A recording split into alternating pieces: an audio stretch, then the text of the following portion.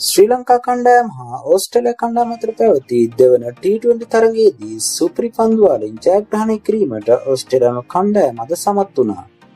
මුලින්ම පන්දුවට පහර දුන් ඕස්ට්‍රේලියාව සිය පන්දුවර 20 අවසානයේ කඩුළු 6ක් දැවී ලකුණු 164ක් ලබා ගත්තා. පිළිතුරෙන්ම ක්‍රීඩා කළ ශ්‍රී ලංකා කණ්ඩායම ලකුණු 164ක් ලබා ගනිමින් තරගයේ සමතත්වයට පත් කළා.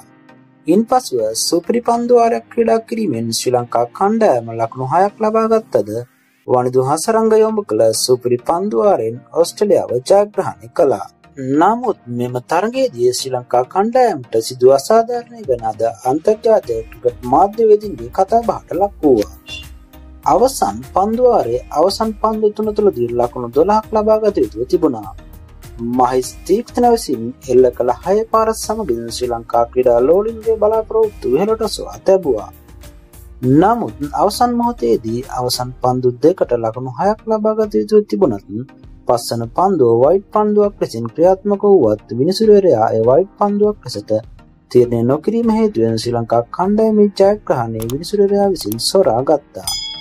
මේ සම්බන්ධයෙන් ඔබගේ වටිනා අදහස් අපට කියන්න.